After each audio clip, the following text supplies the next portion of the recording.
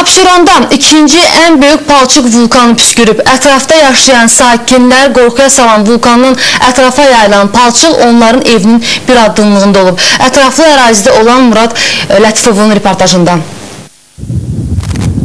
Paytaxtın Binəqədi rayonu Xırdalan şosesi 13 ünvanında yerləşən palçıq vulkanı püskürüb. Ətraf ərazidə yaşayan sakinlərin sözlərinə görə yaxın 10 il ərzində belə bir hadisə ilə qarşılaşmayıblar. Vulkanın yaxınlığında yüzlərlə evlər tikilib. Hər vulkan partlayışı isə onlar üçün təhlükə deməkdir. Mütəxəssislərin fikrincə vulkanın partlayış gücü əgər dəfələrlə çox olsaydı, bu zaman gördüyünüz bu suxur kimi yüzlərlə daş yaxınlıqdakı yaşayış məntəqəsinə düşə bilərdi ki, bu zaman tələfat qaçılmaz olacaqdı.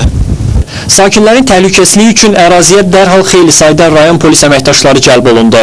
Bundan əlavə rayon icra hakimiyyətinin, eləcə də Ekologiya Nazirliyinin əməkdaşları və bir qrup mütəxəssis hadisə yerində idi. Vulkandan axan palçığın miqdarına və axdığı istiqamətə baxış keçirildikdən sonra açıqlama verən mütəxəssis Keyrəki vulkanının Abşeron rayonu ərazisində ən aktiv ikinci vulkan olduğunu bildirdi. Bu onun 16 16-cı püskürməsidir. Sonuncu püskürmələr olubdu 2001-ci ildə. 2001-ci ilin deməli iyun ayında. Ondan sonra 7 ay üstündən keçəndən sonra bir də püskürübdü. Deməli 2002-ci ilin fevralında.